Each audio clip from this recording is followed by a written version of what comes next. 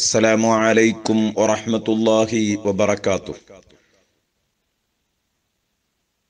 അൽഹംദുലില്ലാഹി റബ്ബിൽ ആലമീൻ വസ്സലാത്തു വസ്സലാമു അലാ സയ്യിദിൽ മുർസലീൻ വഅലാ ആലിഹി വസഹ്ബിഹി അജ്മഈൻ ബിസ്മില്ലാഹിർ റഹ്മാനിർ റഹീം فما لهم عن التذكرة معرضين كأنهم حمر مستنفره فرت من قسورة. بل يريد كل امرئ منهم أن يؤتى صحفا منشرة. كلا بل لا يخافون الآخرة. كلا إنه تذكرة. فمن شاء ذكره. وما يذكرون إلا أن يشاء الله هو أهل التقوى هو أهل التقوى وأهل المغفرة صدق الله مولانا العظيم പ്രിയപ്പെട്ട സുഹൃത്തുക്കളെ ഖുർആൻ മധുരം നാൽപ്പത്തി ഒമ്പത് സൂറത്തുൽ മുദ്ദസിറിലെ നാൽപ്പത്തി ഒമ്പത് മുതൽ അൻപത്തി ആറ് വരെയുള്ള കൊച്ചു കൊച്ചു വചനങ്ങളാണ് ഇന്ന് നാം ചർച്ച ചെയ്യുന്നത്. ചെറിയ വചനങ്ങളാണെങ്കിലും വലിയ ആശയങ്ങൾ ഉൾക്കൊള്ളുന്ന ഭാഗമാണ്. ഇൻഷാ അല്ല നമുക്ക് ചെറുതാക്കി വിശദീകരിക്കാം. ഫമാലഹും അനിത്തദ്ക്കിറത്തി മുഅരിളീൻ അള്ളാഹു ചോദിക്കുന്നു ഈ മനുഷ്യർക്ക് എന്തു പറ്റിപ്പോയി? വിശുദ്ധ ഖുർആൻ കേട്ടിട്ട് അതേക്കുറിച്ച് ആലോചിക്കാതെ പാഠം ഉൾക്കൊള്ളാതെ താന്തോന്നികളായി ജീവിക്കുന്നവർ. ഉപദേശങ്ങളെ നിർദ്ദേശങ്ങളെ അള്ളാഹുവിന്റെ നിയമനിർദ്ദേശങ്ങളെ സതുപദേശങ്ങളെ പുറങ്കാലുകൊണ്ട് തട്ടി മാറ്റുന്ന നന്ദി കെട്ട വർഗത്തെക്കുറിച്ച് അള്ളാഹു ചോദിക്കുകയാണ്.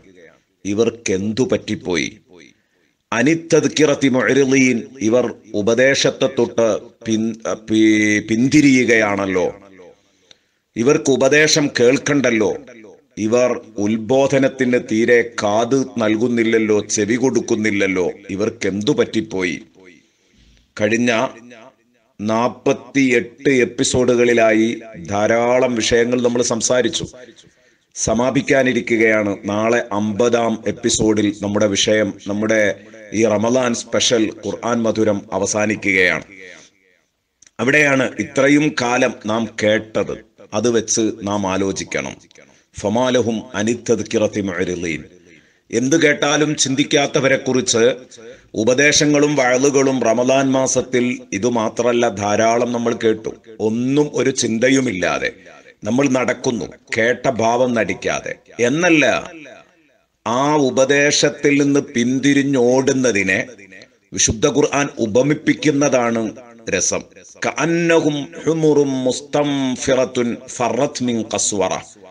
സിംഹങ്ങളെ ഭയന്ന് സിംഹത്തെ ഭയന്ന് വിരണ്ടോടുന്ന കാട്ടുകഴുതകളെ പോലെയാണ് അവർ. സിംഹങ്ങളെ ഭയന്ന് വിരണ്ടോടുന്ന കാട്ടുകഴുതകളെ പോലെയാണ് അവർ. ഇതാണ് ഖുർആന്റെ ശൈലി. അവിടെയാണ് നമ്മൾ വയൽ കേൾക്കുന്നില്ല എന്നല്ല വയൽ കേൾക്കുന്നത് നമുക്ക് ഭയവും അറപ്പുമാണ്. ചില ആളുകൾ അങ്ങനെ ഉണ്ട് വയൽ കേൾക്കാൻ പേടിക്കുന്നവർ നന്നായി പോകുമോ എന്ന് പേടിക്കുന്നവർ. ഇങ്ങനെയുണ്ട്. അതിനെ ഉപമിപ്പിച്ചത് ഒരു അറേബ്യൻ ഉദാഹരണം കൊണ്ടാണ്.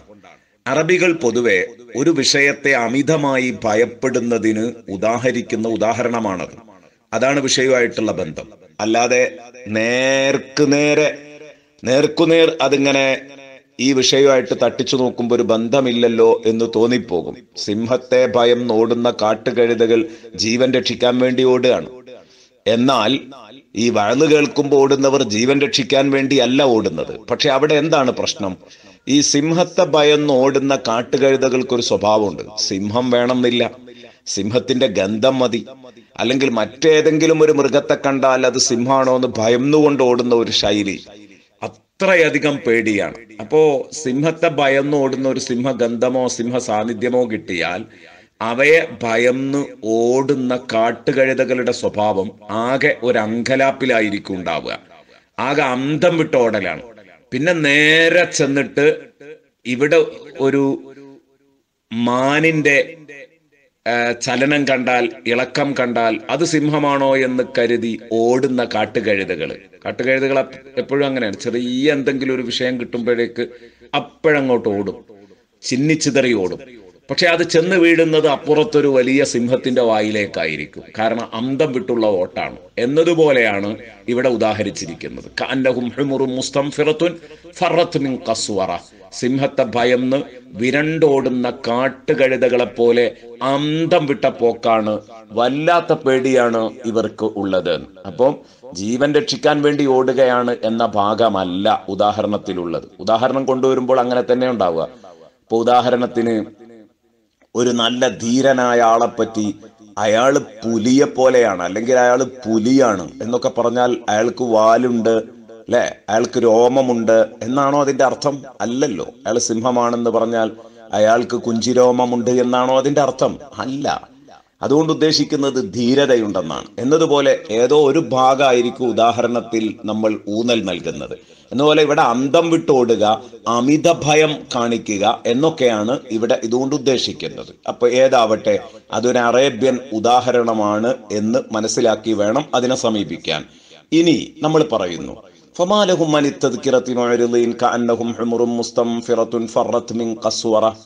ബൽ യുരീദു منهم ان യുഅ്താ സുഹുഫം منشره മറിച്ച് ബൽ മറിച്ച്. ഇവർ വയൽ കേൾക്കാൻ നിൽക്കാതെ ഓടുന്നത് എന്താ മറിച്ച് യുരീദു കുല്ലുംബ്രി ഇമ്മിൻഹും ഇവരിൽ ഓരോ മനുഷ്യനും ആഗ്രഹിക്കുന്നത് അവന്റെ അഡ്രസ്സിൽ അവന്റെ പേരിൽ ഒരു തുറന്ന കത്ത് അവന് ലഭിക്കണം കിട്ടണം എന്നാണ് ഇവരാഗ്രഹിക്കുന്നത്. അങ്ങനെ ഒരാഗ്രഹം സത്യത്തിൽ മക്കാമുഷരിക്കുകൾക്കുണ്ടായിരുന്നു ആ വിഷയം അള്ളാഹു തായാല പലയിടങ്ങളിലായി സൂചിപ്പിക്കുന്നുണ്ട്. ഒരു സ്ഥലം സൂറത്തുൽ അന്നാമിലുണ്ട് സൂചന ഇതിലേക്കുള്ള സൂചന സൂറത്തുൽ അന്നാമിലുണ്ട്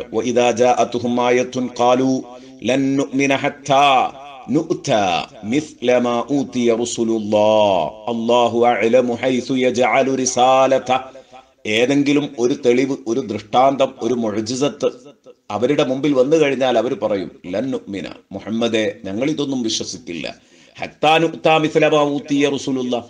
മുമ്പ് കഴിഞ്ഞുപോയ പ്രവാചകന്മാർക്ക് നൽകപ്പെട്ടതുപോലെ ഉള്ളത് നിന ഞങ്ങൾക്കും നൽകപ്പെടണം. അപ്പോഴേ ഞങ്ങൾ ഇത് സമ്മതിക്കുള്ളൂ എന്ന് അവർ പറഞ്ഞിരുന്നു. എന്നിട്ട് അവർ ആവശ്യപ്പെട്ടിരുന്നത് മുൻകാലത്ത് കഴിഞ്ഞു പോയ പ്രവാചകന്മാർക്ക് നൽകപ്പെട്ടതുപോലത്തത് നൽകണം എന്ന് പറഞ്ഞാൽ ഇവരുടെ പേരിൽ അഡ്രസ് രേഖപ്പെടുത്തി നൽകണം. അത് അന്ന് നടന്ന കാര്യമല്ല നടക്കാത്ത കാര്യത്തെ കുറിച്ചാണ് ഇവർ പറഞ്ഞത്. അപ്പൊ അള്ളാഹു താല പറയാണ് അള്ളാഹു അഴലമു ഹൈസു യജാലു റിസാലത്ത അള്ളാഹു താലാക്കറിയാം എവിടെ എങ്ങനെ അള്ളാഹുവിന്റെ സന്ദേശം റിസാലത്ത് പ്രവാചകത്വം നിക്ഷേപിക്കണമെന്ന്. ഇവർ പറഞ്ഞതുപോലെ ചെയ്യാൻ നിൽക്കുകയല്ല അള്ളാഹു എന്നർത്ഥം. അല്ലെങ്കിലും സൂറത്തുൽ ഇസ്രായിലും ഇനി ഇതേ ആശയം കാണാം. ഔ കിതാബൻ നഖറൗ നീ ആകാശത്തേക്ക് കയറിപ്പോയി. ഞങ്ങളുടെ പേരിലുള്ള ഞങ്ങളുടെ അഡ്രസ്സിലുള്ള ഞങ്ങൾക്ക് വായിക്കാൻ പറ്റുന്ന ഒരു കിതാബ് ഇറക്കിക്കൊണ്ടിങ്ങു ഖുൽ സുബ്ഹാന റബ്ബി ഹൽ കുന്തു ഇല്ലാ റസൂല.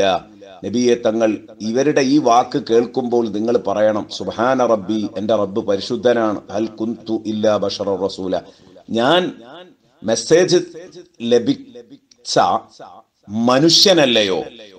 ഞാൻ മനുഷ്യ പ്രവാചകനാണല്ലോ മെസ്സേജ് കിട്ടുന്ന അപ്പൊ എനിക്ക് എന്താണോ മെസ്സേജ് ലഭിക്കുന്നത്? അതിനനുസരിച്ച് ചെയ്യാനേ പറ്റുള്ളൂ.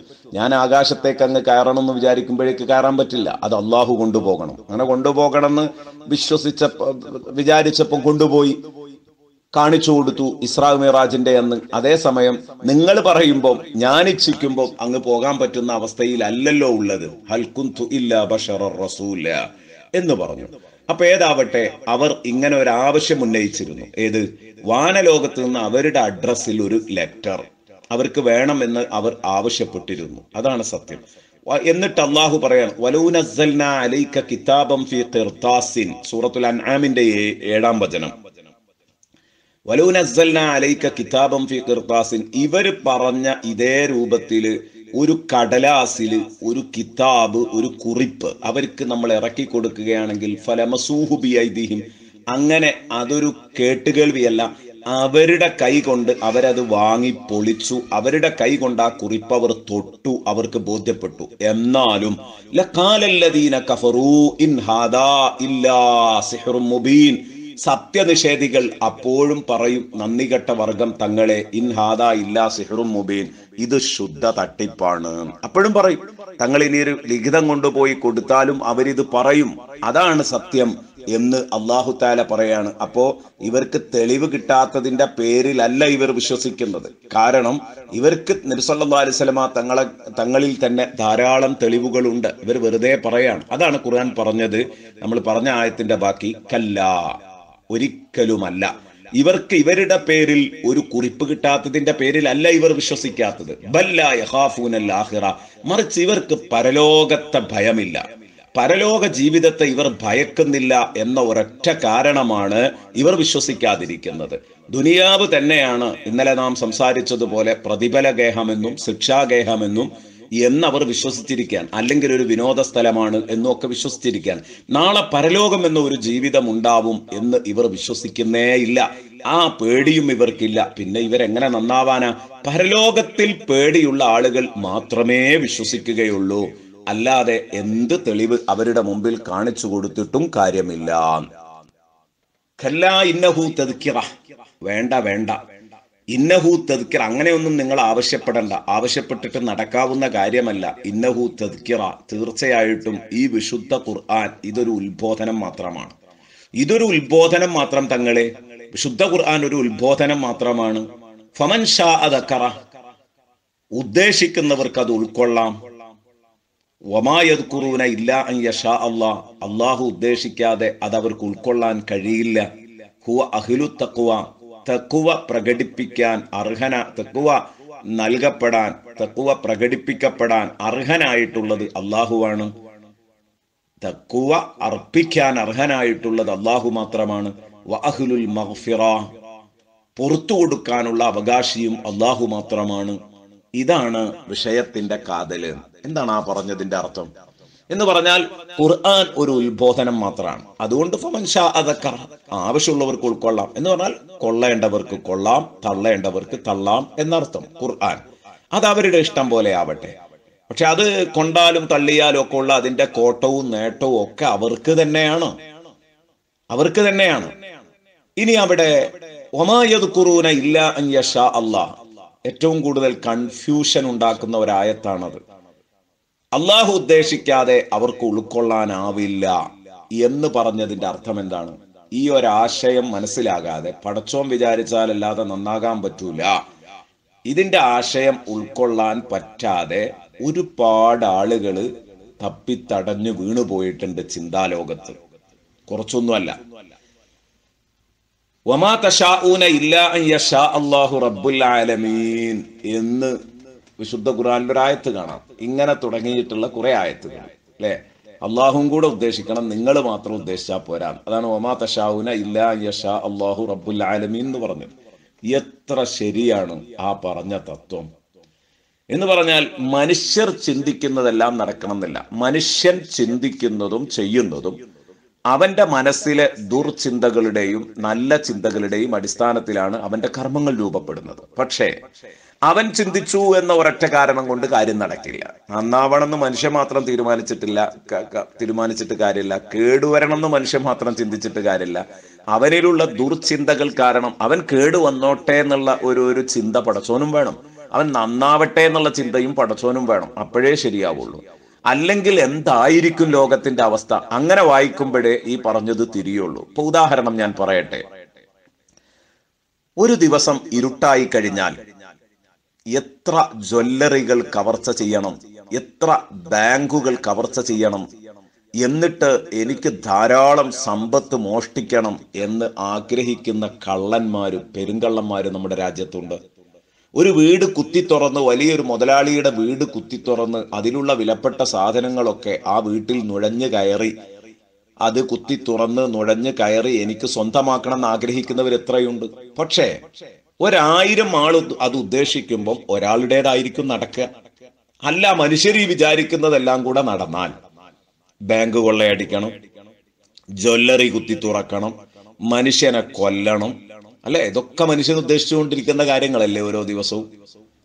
മറ്റവന്റെ ബിസിനസ് തകർത്ത് കളയണം അതിനു വേണ്ട കാര്യങ്ങൾ ചെയ്യണം. അപ്പോ മനുഷ്യൻ ഉദ്ദേശിക്കുന്നതെല്ലാം കൂടെ ഇവിടെ അങ്ങോട്ട് നടക്കാൻ ഒരുങ്ങുകയാണെങ്കിൽ ലോകാകെ താറുമാറാവില്ലേ സഹോദരങ്ങളെ? അതാണ് അള്ളാഹു ഈ പറഞ്ഞത്. നിങ്ങൾ ഉദ്ദേശിച്ചത് കൊണ്ട് മാത്രം കാര്യമല്ല പടച്ചോനും കൂടെ ഉദ്ദേശിക്കണം. അപ്പോഴേ സംഗതി സക്സസ് ആവുള്ളൂ. സക്സസ് ആവണമെങ്കിൽ വിജയകരമാവണമെങ്കിൽ അത് അള്ളാഹും കൂടെ ഉദ്ദേശിക്കണം. അതിന്റെ അർത്ഥം അയാൾ വിജയിച്ചു എന്നല്ല. അയാൾ വിജയിച്ചു എന്നല്ല. അയാളുടെ ദുർചിന്തക്കനുസരിച്ച് അയാളെ നരകത്തിൽ പോകാൻ പാകത്തിൽ അള്ളാഹു അങ്ങ് കയറൂരി വിട്ടുകൊടുത്തു. അതേസമയം മറ്റേയാൾ ദുർചിന്ത ഉണ്ടായിട്ടും അള്ളാഹു കയറൂരി വിട്ടുകൊടുത്തില്ല. എന്തുകൊണ്ട്? അയാൾ എങ്ങനെയെങ്കിലും അതിലും ആ, സംഗതികളൊക്കെ അദ്ദേഹത്തിൽ ഉണ്ടെങ്കിലും ഒരു നല്ല ചിന്ത ഭാവിയിൽ വരാനുണ്ട് അല്ലെങ്കിൽ മുമ്പ് കഴിഞ്ഞു പോയിട്ടുണ്ട്. അത് കാരണം അയാളെ ഈ തിന്മയിൽ അകപ്പെടാതെ രക്ഷിച്ച് സ്വർഗത്തിലാക്കണം എന്ന് അള്ളാഹുവിന് തീരുമാനമുണ്ട്. അങ്ങനെയാണ് ഈ പറഞ്ഞത്. ഒമാ തശാഊന ഇല്ലാ ആലമീൻ. ഞാൻ ഇത് പറഞ്ഞത് ഒരു ചെറിയ വിശദീകരണം നൽകിയത്. ഇത് വളരെ സങ്കീർണമായ വിഷയമാണ്. ഈ ആയത്തിന്റെ തഫ്സീർ. അക്കീതയുടെ കിതാബുകളിലൊക്കെ വളരെ ആഴത്തിൽ ചർച്ച ചെയ്തിട്ടുള്ളതാണ്. ഞാനിത് ചെറുതായി ഒന്ന് പറഞ്ഞത് സാധാരണക്കാർക്ക് തിരിയുന്ന രൂപത്തിൽ ഒരു ചെറിയ ഉദാഹരണം പറഞ്ഞത് ഇതിന്റെ വിശദീകരണത്തെ ചൊല്ലി ചിന്താലോകത്ത് തപ്പിത്തടഞ്ഞു വീണ ആളുകൾ കുറച്ചൊന്നുമല്ല എന്ന് ഞാൻ വിശേഷിപ്പിച്ച നേരത്തെ സൂചിപ്പിച്ചല്ലോ. അത് ഉണർത്താൻ വേണ്ടി പറഞ്ഞു എന്ന് മാത്രം. ഇനി അള്ളാഹു പറയാണ് ഹുവ വ അഹ്ലുൽ മഗ്ഫിറ. അള്ളാഹു തക്കുവക്ക് അർഹനായിട്ടുള്ളവൻ അവകാശി അവനാണ് മഹസുറത്തിന് അവകാശിയും അവനാണ്. എന്ന് പറഞ്ഞാൽ തക്കുവ ചെയ്യപ്പെടേണ്ടത് അള്ളാഹുവിനാണ് മഹഫിറത്ത് നൽകാൻ അവകാശിയും അള്ളാഹുവാണ് ആ പറഞ്ഞതിന്റെ അർത്ഥം നിങ്ങൾ നിസ്കരിച്ചു നോമ്പു നോറ്റു ഖുർആൻ ഓതി ഹക്കും ബാത്തിലും നോക്കി ജീവിച്ചു. ഇങ്ങനെ നിങ്ങൾ തക്കുവ ചെയ്താൽ അതുകൊണ്ട് അള്ളാഹുവിന് എന്തോ നേട്ടമുണ്ടോ?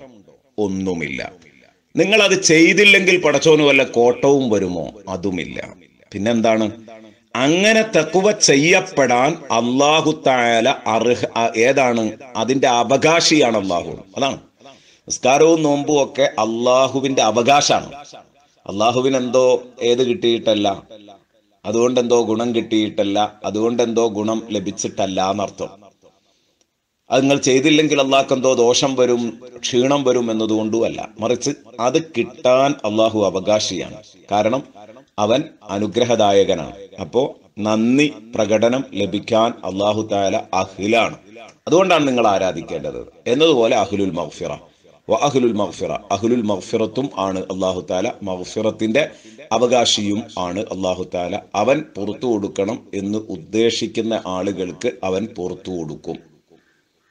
അവൻ പുറത്തു കൊടുക്കണം എന്ന് ഉദ്ദേശിക്കുന്നവർക്ക് അവൻ പുറത്തു കൊടുക്കും. അത് അള്ളാഹുവിന്റെ അവകാശത്തിലാണുള്ളത്. മഹ്ഫിറത്ത് തീർച്ചയായും.